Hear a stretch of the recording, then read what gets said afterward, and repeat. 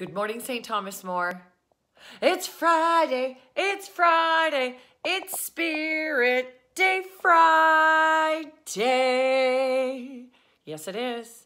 But it not only is a Friday to celebrate and a Spirit Day to celebrate, more importantly today, it is Educational Assistants Day.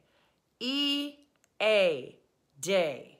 Appreciate your Educational Assistants Day. Well, to be honest with you, every day should be our EA, Educational Assistants Day. That's what it should be.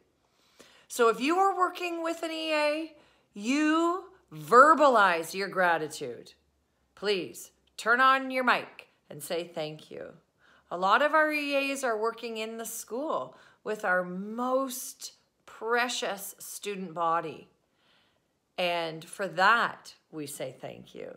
We say thank you for the dedicated time and energy you put into caring for our students and helping with their homework and helping them read, helping monitor and manage behavior. You keep our students safe.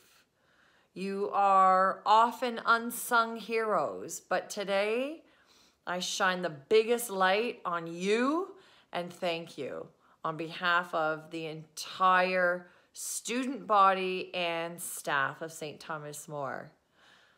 I usually end with saying, hey, St. Thomas More, you are loved. But I think it's really important that we say, hey, STMEAs, you are loved. Have a great day, St. Thomas More.